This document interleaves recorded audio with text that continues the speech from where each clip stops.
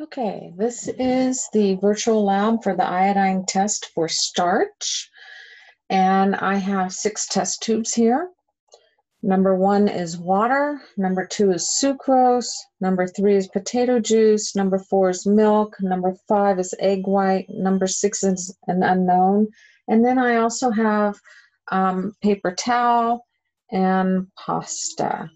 So to start with, you need to um, write down your hypothesis, basically a statement saying which of these do you think will um, has which of these substances has starch in it, and then you're going to write have a data table, and you're gonna um, write down the color of each substance after I put in the iodine. So I'm going to put in three drops of iodine on each substance, and then you need to record the color, and then you need to mark on there whether or not starch is present.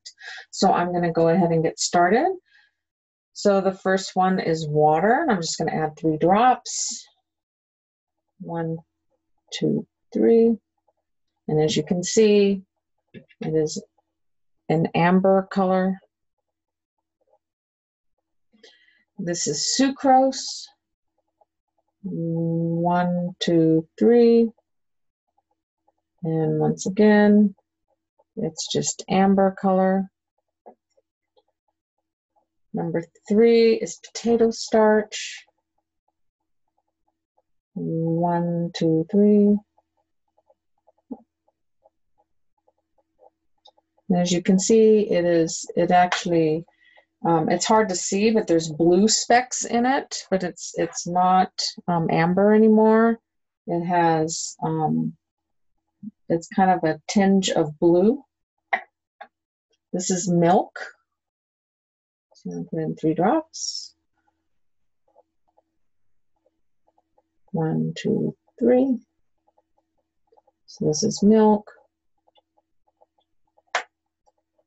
And it didn't turn blue. I don't see any blue in it. It's just kind of a milky yellow amber color.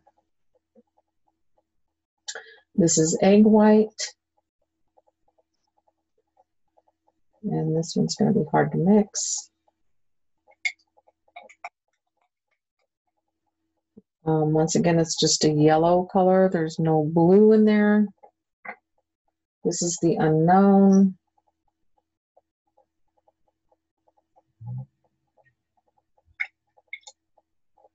And no blue, just kind of a yellow again. Um, this is paper towel.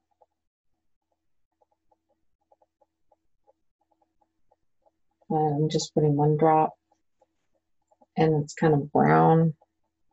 I don't see any blue in there. And then this is the pasta.